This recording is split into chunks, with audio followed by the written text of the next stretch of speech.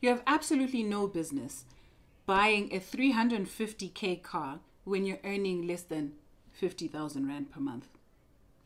No reason. Today we're going to be talking about cars, the number one wealth killer.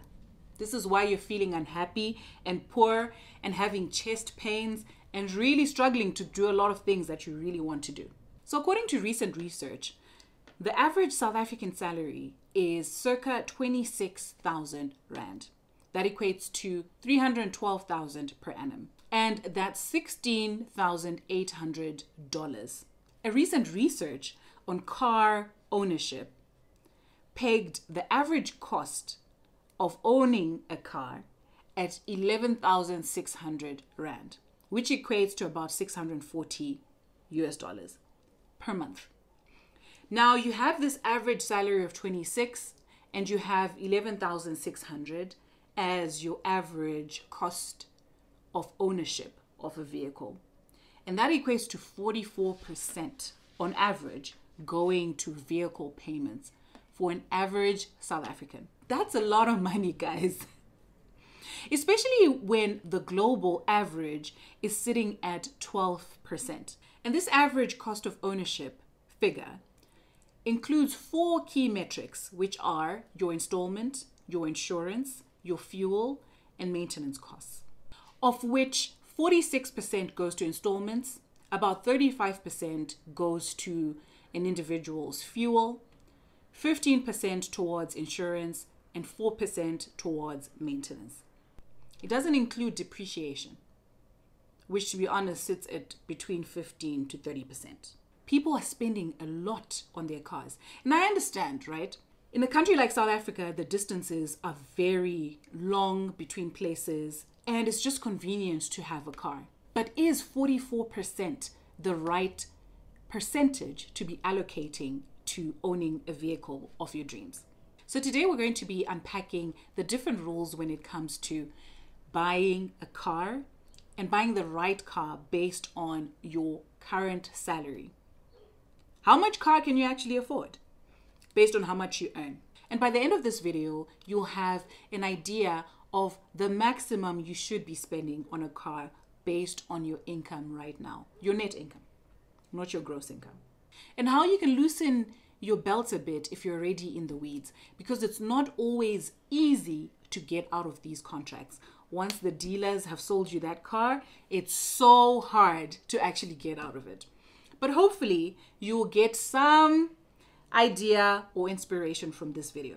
So we'll start with the 25 to 35% rule.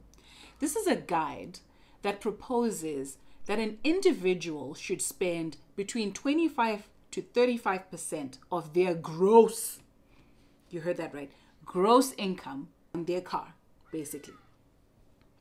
Doesn't make a lot of sense now, does it? What that means is if you're earning a million dollars per annum, you can spend up to 350,000 on a car every year. The problem I have with this rule is that it doesn't account for tax or any other contributions, medical aid, any other contributions. 29 godo going towards a car. That doesn't make sense. So, scrap that rule.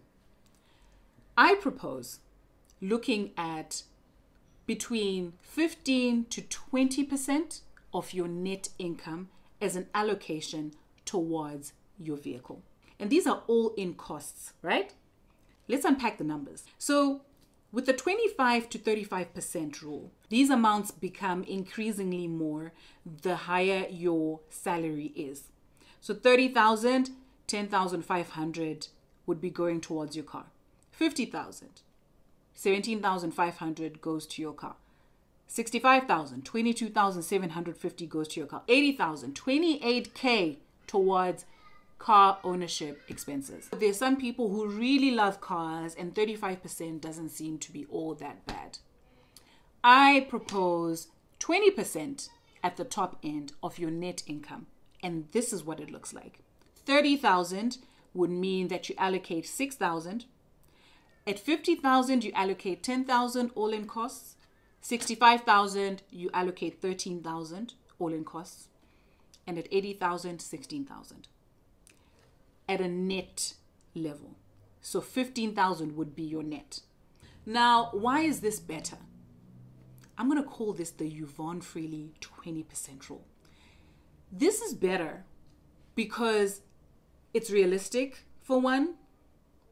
It also allows you to not get a crappy car, right? You're not driving a skoro skoro down the road. You have a decent car, and now we have so many options. We buy cars, we, we have so many options to buy a decent car at the price ranges that I've just mentioned on a monthly basis.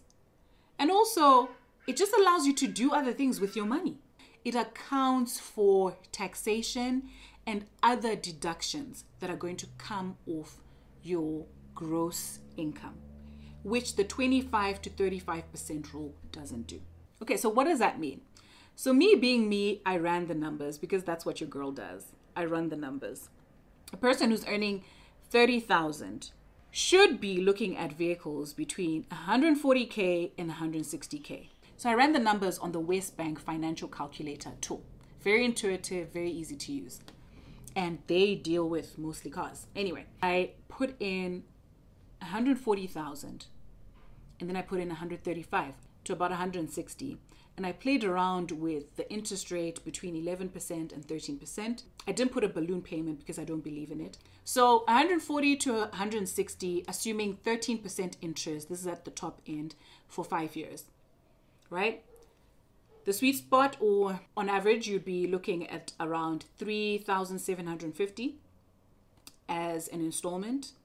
And then looking at that breakdown that I gave you, the 35% to fuel, 15% to insurance, and 4% to maintenance, you get a ballpark figure of about 5,775.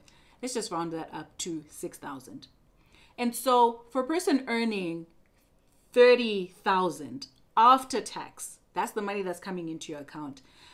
Max 6K is what you should be negotiating with your insurance guys, with your car dealership. The car dealers will make it happen. All right, we'll talk about the implications of the different assumptions in a different video. But today, just for simplicity, 6K is your cap. So the car you're looking for is 140,000 to 160K. If you're earning 30,000 and below. On the other side, if you're earning about 65,000 take home, you should be looking at a car that's between 350 to 375k. So that's how you're supposed to be looking at it. You have to buy a car based on the salary that you're actually earning, not based on these crazy percentages that we're told to actually use. Remember when I was telling you about the Joneses and how much they actually don't care? People will look at your car that you are breaking your back for and forget about it five seconds later buy a car that makes sense for your circumstances and not for the people. No clout here, please. Especially when it comes to cars. You'd rather spend that money on experiences, on buying property, or any other investments, not a vehicle. All right, so if you actually don't know how much you're spending on your car or the cost of transportation to you, I have a budgeting model that has worked for me for years and is tried and tested and I've done a video on it. It's called the 60 20 20 rule. If you haven't already, please check it. I'll link it up somewhere here. I'll see you in my next one.